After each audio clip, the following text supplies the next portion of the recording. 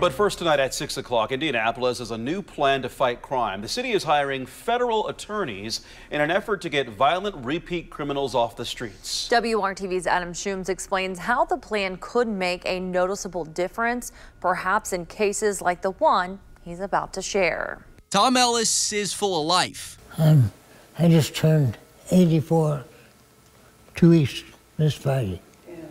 Because they had a birthday party for me. Despite living with Parkinson's disease, he can still crack some jokes with his family. It didn't want a party. I had a good time. But his family says Tom had his sense of safety taken away over the weekend. I was ashamed and embarrassed.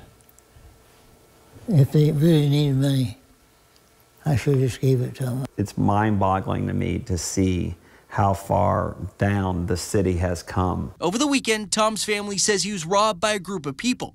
It was all caught on camera. They could have killed him. In the video provided by Tom's family, you can see multiple people get out of a van. They say Tom was confronted and Tom tried to fight back, and then the group got away. They believe the people were armed. A police report states he was robbed of $2,000. It's scary.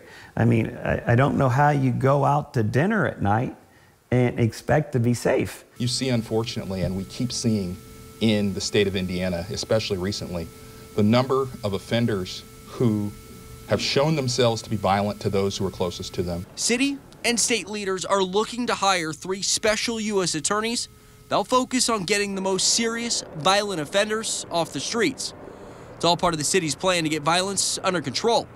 It's still too early to tell if Tom's incident rises to a federal crime, but police are investigating. We're going to be using them to develop proactive cases, to investigate you know, the sources of a crime gun that might be found at a scene, not just hold the shooter accountable, but figure out how they how they get that gun. The attorneys will serve as federal prosecutors who focus exclusively on investigating and prosecuting violent crimes in Marion County, and in turn, getting the most violent offenders off the streets. The consequences in federal court are different, and we're able to protect the community through things like pretrial detention. I don't have the answer. I mean, if, if there was an answer, I think we, we would do it. For Tom's family, they're hoping the answers are in the solutions that city and state leaders are coming to the table with. Shooting each other is not the answer.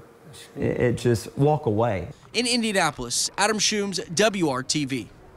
The U.S. Attorney's Office says there is no timetable on when these attorneys are expected to start.